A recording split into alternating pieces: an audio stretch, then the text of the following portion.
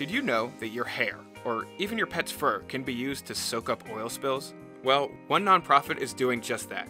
They're collecting hair that would typically end up in a landfill and, through a simple process, making, well, hair mats that are being used to keep the planet clean. And you can help. How so? Stick around, because that's what we're checking out in this week's episode. Why hair? What makes it good at cleaning up oil spills? And how can you help make a difference? And we'll talk to that one nonprofit that's upcycling all of this into this.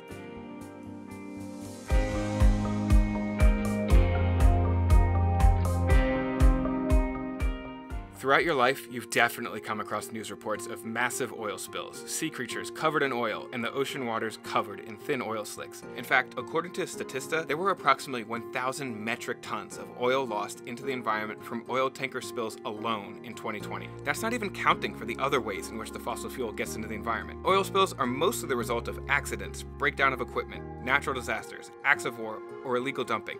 And as sad as it already sounds, these large spills are devastating to the environment, killing thousands of marine animals, destroying habitats, and having huge impacts on local fishing and tourist industries. And that's where you come in. Yes, you. Your hair. Your own hair from your scalp can actually help pick up oil from these spills. Want to hear more? This is Lisa Gautier, who's made it her mission for more than 20 years to find interesting ways to turn waste into usable resources. You can turn waste into resources if you have a pure uh, feedstock of a certain material that makes all the difference in the world. So that's what they set out to do. In 1998, Lisa co founded Matter of Trust, an environmental nonprofit headquartered in San Francisco with her husband, Patrice Gautier. The nonprofit implements transformational programs that promote renewable resources, recycling, reuse, and repair. 11 years after Matter of Trust was founded, in 2019, Lisa encountered an oil spill in the Galapagos Islands that spilled 600 gallons of oil into its waters. Taking interest in this spill, she was inspired by a story she heard about Alabama salon owner and inventor Phil McCrory, who came up with the idea of using fiber to clean up oil spills while shampooing an oily head of hair. In 2000, she and Phil partnered together and began Matter of Trust's Clean Wave program, which felts fibers, like hair, into mats that soak up gas, oils, and other petroleum products.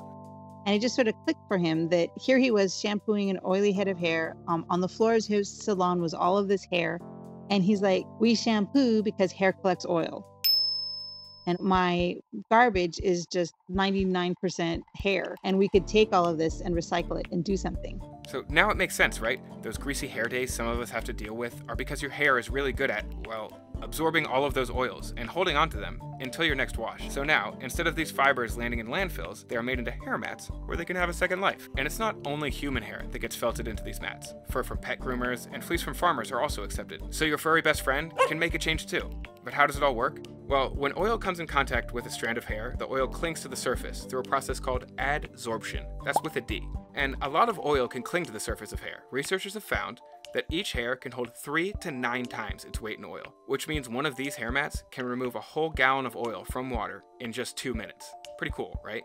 But how does hair become hair mat? Good question. Let's get into it. The first step is to collect donations. We'll go over how you can donate your own hair a little more later but the hair and fur is received at one of about 30 donor felting sites around the world, where it is left alone and stored for at least a month. That just makes sure that we don't have any, you know, lice um, uh, from the animals. We don't have any fleas. We don't get any ringworm from the alpaca, and you know, all that good stuff. And once all of that good stuff is gone, then long and short hair is sorted and separated. Any hair over 4 inches in length is put through a needle felting machine first. This creates a scrim, which is like a sort of fabric mesh. Then, in between two of these hair scrims is filled with the shorter 1 to 4 inch pieces of hair, forming a sort of hair pillowcase. Then the edges are folded over to make them strong, and the whole thing is run through a needle punch machine, and a completed mat pops out. Once complete, the hair mats are shipped to individuals, government offices, or people in public works. The mats are then ready to be used to clean up oil spills. But that's not all they're good for. The mats are also used to keep storm drains clean, to collect oil spilled in auto shops, and a lot more. What happens when all that hair has three to nine times its weight in oil? Well, they've got to be properly disposed of, and the people or organizations who use these hair mats are the ones that are actually responsible for disposal. Hazmat pickup sites either send the hair to landfills or they incinerate them for energy.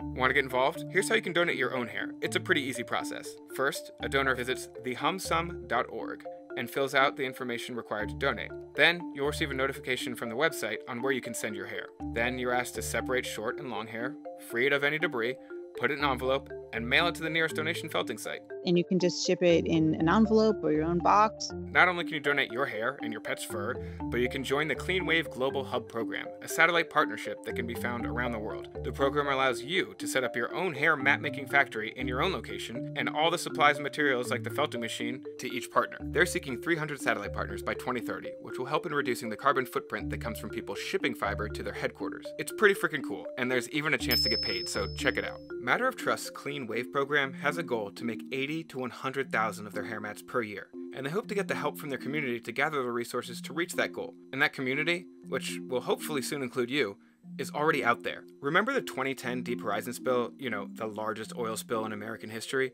Lisa and team were there. They weren't making hair mats, but they did initiate a massive mobilization to gather fibers, and they received over 750,000 pounds of hair to make hair booms, which is hair stuffed into nylon stockings, which were used to help clean up the spill. See? How awesome is that? It shows how the world can lend a helping hand. Even the Air Force is collaborating with the Clean Wave program, exploring the use of renewable natural fibers for filtration, so you know it's legit.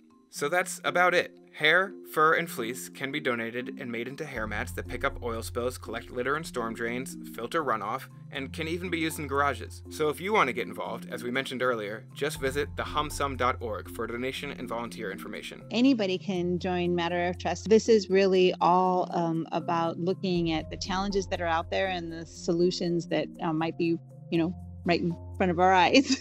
so um, that's basically uh, what we're all about. We we love uh, hearing from people all over the world, and and also hearing what the solutions are coming ground up from all over the world, and making sure that they're getting shared. Would you ever donate your hair or your pet's fur to keep our water clean? Have you ever participated in an oil spill cleanup? Do you do anything special with your trimmed hair? Let us know in the comments.